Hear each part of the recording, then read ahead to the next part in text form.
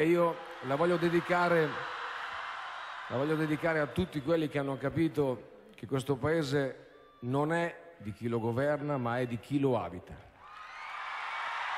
Non c'entra destra, sinistra, centro, questa è la realtà delle cose. Sapete, suonare qua all'arena vuol dire comunque ricordarsi per forza di cose di che pasta e di che bellezza è fatta l'Italia.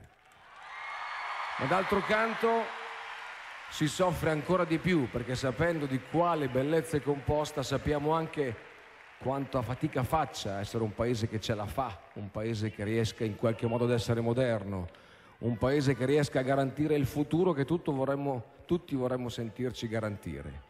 Insomma, un paese molto lontano dal paese che abbiamo sognato ma smettere di sognare quel paese lì non serve a nessuno. Quindi adesso, dopo che avete dato il meglio di voi, e io l'ho visto, e per questo vi ringrazio,